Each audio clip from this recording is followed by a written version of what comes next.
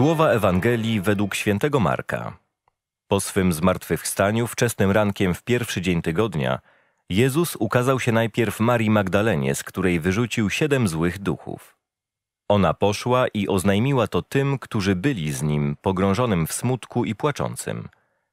Oni jednak słysząc, że żyje i że ona go widziała, nie chcieli wierzyć. Potem ukazał się w innej postaci dwom z nich na drodze, gdy szli na wieś.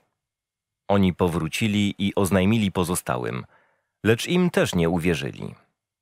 W końcu ukazał się samym jedenastu, gdy siedzieli za stołem i wyrzucał im brak wiary i upór, że nie wierzyli tym, którzy widzieli go zmartwychwstałego.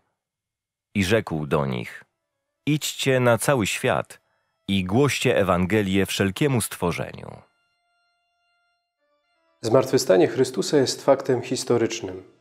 Zaświadczają o tym nie tylko przekazy biblijne, które medytowaliśmy w tych ostatnich dniach, ale również, a może przede wszystkim fakt, że setki naocznych świadków zmartwychwstania Chrystusa za swoje przekonania oddała nawet własne życie.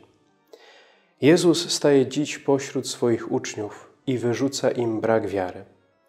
Jest to dobra sposobność, aby zapytać samych siebie, czy mocno wierzymy, że Jezus prawdziwie powstał z martwych.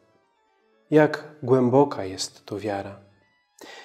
Czy jestem do tego faktu tak mocno przekonany, że jestem gotów nawet bronić moich przekonań za wszelką cenę? Od odpowiedzi na te pytania uzależniona jest nasza postawa na wezwanie Chrystusa Idźcie na cały świat i głoście Ewangelię wszelkiemu stworzeniu. Tylko wówczas, gdy wiara jest głęboka, człowiek jest gotów poważnie potraktować to Chrystusowe wezwanie. Jeśli wiara jest mizerna, to wezwanie to nie będzie miało żadnej mocy sprawczej.